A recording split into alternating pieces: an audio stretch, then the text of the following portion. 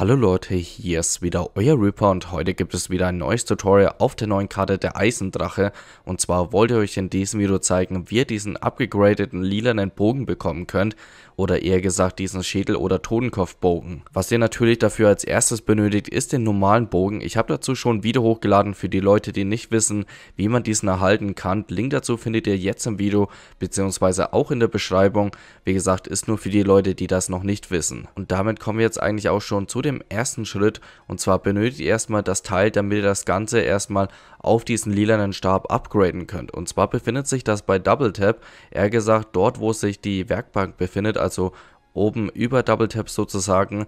Und zwar müsst ihr da einfach bei dieser Brücke draufstehen und in Richtung Wand gucken, denn dort solltet ihr eigentlich so ein Symbol sehen und bei diesem Symbol müsst ihr mit eurem Bogen drauf schießen und zack, die Wand ist kaputt und so ein Teil kommt da rausgesprungen oder rausgeflogen.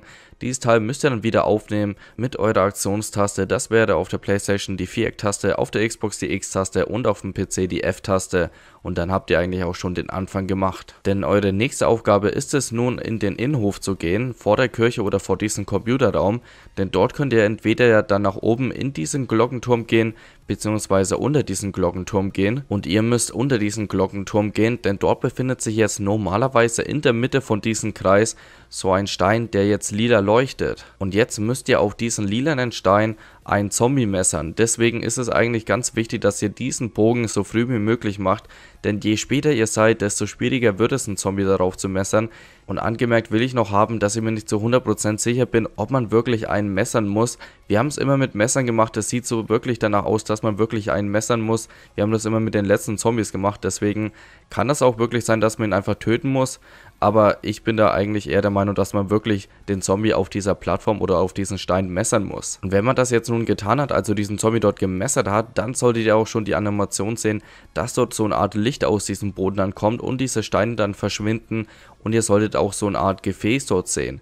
Dieses Gefäß könnt ihr dann wieder mit eurer Aktionstaste nach oben holen. Das heißt, wenn ihr dort eure Aktionstaste drückt, dann sollte dieses Gefäß unter diesen Kronleuchter schweben. Und diese mysteriöse Stimme sagt, dass wir jetzt nach irgendwas suchen sollen. Und ihr müsst jetzt nach Totenköpfen oder nach Schädeln suchen. Und von diesen Schädeln, die ich euch jetzt mal hier im Hintergrund einblende, damit ihr überhaupt wisst, wie diese aussehen, gibt es sechs Stück. Und ich werde natürlich euch jetzt mal zeigen, wo ihr diese sechs Schädel findet. Den ersten Schädel findet ihr direkt bei Mule Kick. Das heißt, ihr lauft von diesem Raum einfach nach unten in den Tunnel Tunnel, da solltet ihr auch Mule Kicks sehen und in einer dieser Wandeinkerbungen befindet sich dann auch der erste Schädel. Der zweite Schädel befindet sich dann bei Double Tap auf der Mauer, solltet ihr eigentlich auch ganz gut sehen.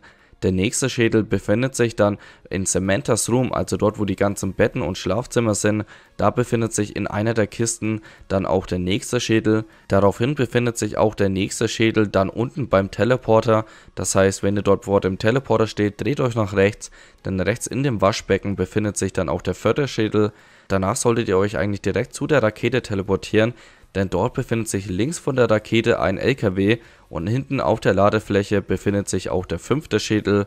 Und jetzt sind wir schon beim letzten Schädel angelangt und zwar befindet sich dieser im Innenhof vor der Kirche. Wenn ihr rechts die Treppe nach oben lauft, auf dem Fensterbrett, da befindet sich dann auch der letzte Schädel. Solltet ihr nun alle Schädel eingesammelt haben, müsst ihr wieder in diesen Raum nach unten laufen, denn dort befindet sich jetzt eigentlich so eine Art Kreis und bei diesem Kreis ist es eure nächste Aufgabe Zombies zu opfern, aber dieses Mal gebeugte Szenen. Das heißt, ihr müsst dort Crawler opfern, ganz einfach dort die Crawler hinbringen, nicht töten, das ist eigentlich das Wichtigste bei dieser Aufgabe, denn ihr könnt ja eigentlich direkt anfangen, ihr müsst einfach nur ein paar Crawler machen, diese nicht töten, denn die werden eigentlich automatisch aufgefressen von diesen Schädeln, die sich dort in der Luft befinden. Und da es ja natürlich sechs Schädel gibt, müsst ihr natürlich auch sechs Crawler opfern. Nachdem ihr jetzt nun die Totenköpfe mit den Crawlern gefüttert habt, habt ihr auch schon die nächste Aufgabe bekommen, denn wenn ihr jetzt die Crawler dort gefüttert habt, dann sind in diesen Kreise solche Symbole dann entstanden. Und diese Symbole sind ausgeblichen, was jetzt eure nächste nächste Aufgabe ist, dass ihr diese Symbole sozusagen füllt. Dieses Mal aber nicht mit Seelen füllen, das heißt nicht einfach Zombies töten, denn ihr müsst die Zombies schon töten, aber ihr müsst aufpassen, denn die Zombies droppen ab und zu so ein Symbol. Und dieses Symbol bleibt halt nur für 10 Sekunden, deswegen solltet ihr das Symbol so schnell wie möglich einsammeln. Ihr seht das Ganze hier im Video, wie diese Zombies dann diese Symbole droppen. Und davon müsst ihr einfach 6 Symbole einsammeln. Das heißt, ihr müsst so lange dort Zombies töten, bis all diese 6 Symbole dort gedroppt sind von diesen Zombies und dann habt ihr eigentlich auch schon diesen Schritt geschafft. So, und der nächste Schritt ist wahrscheinlich der schwierigste Schritt, also zum Erklären für mich, denn da ist es wieder so ein bisschen so eine Sache mit Merken und übersetzen sozusagen, aber ich versuche mal mein Glück, beziehungsweise ich versuche es mal euch so gut wie möglich zu erklären, denn nachdem ihr jetzt nun alle sechs Symbole eingesammelt habt von diesen Zombie-Drops, dann erzählt wieder diese mysteriöse Stimme irgendeinen Text und in diesem Text erwähnt diese Stimme von drei verschiedenen Dingen, das heißt, bei unserem Beispiel, ich werde das ein bisschen jetzt erklären an diesem Gameplay, das jetzt im Hintergrund läuft, bei unserem Beispiel hat diese Stimme nämlich drei Wörter gesagt und zwar Horn, Herz und Hirsch.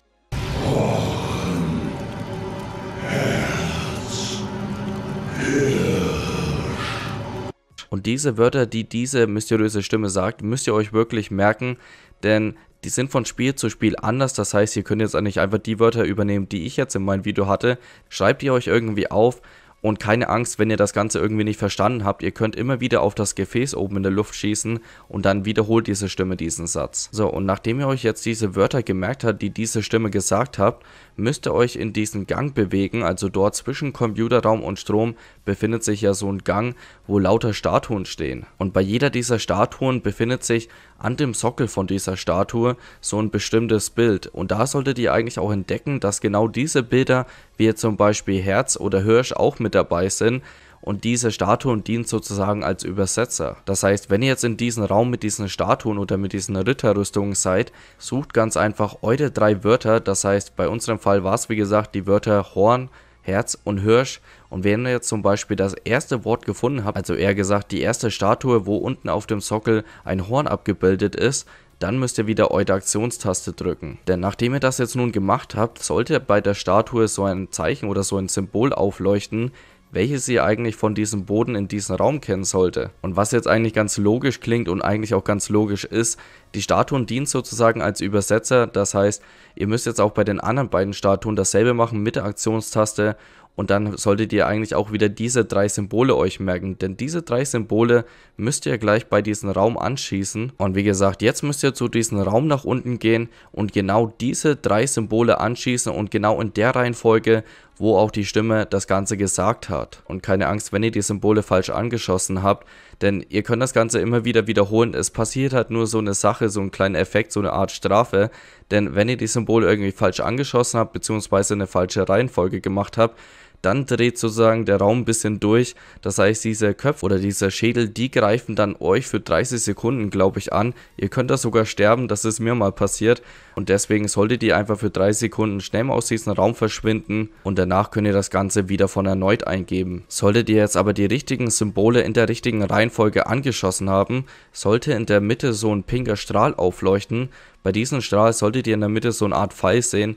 Drückt einfach wieder eure Aktionstaste, wartet für ein paar Sekunden und dann sollte euch eigentlich schon angezeigt werden, dass ihr diesen Pfeil entnehmen könnt. Und nun sind wir eigentlich auch schon wieder bei dem letzten Schritt angelangt. Ihr müsst wieder zu der Pyramide gehen, zu den vier Statuen und da müsst ihr wieder euren Altar suchen. Also dieses Symbol mit diesen runden Teil in der Mitte und mit diesen ganzen Schädel, die da rumschwören. Und wenn ihr das richtige Symbol gefunden habt, könnt ihr wieder mit eurer Aktionstaste diesen Pfeil platzieren und nun müsst ihr wieder Zombie-Szenen füllen. Das heißt, tötet in diesem Pyramidenviereck einfach ein paar Zombies. Das geht eigentlich ganz schnell. Ich glaube, 30 bis 40 Zombies sind das. Und wenn das richtig ist, beziehungsweise wenn das Ganze voll ist, dann werden zu diesem Altar keine Zombie-Szenen mehr irgendwie hingeführt. Und das heißt, ihr könnt euren normalen Bogen mit diesen abgegradeten Bogen dann austauschen. Und ja, es sieht eigentlich wirklich nice aus, gefällt mir eigentlich auch wirklich sehr vom Design. Und somit bleibt mir eigentlich nur noch zu sagen, ich hoffe euch hat das Video gefallen und auch weitergeholfen. Und damit sage ich mal bis zum nächsten Mal, euer Reaper.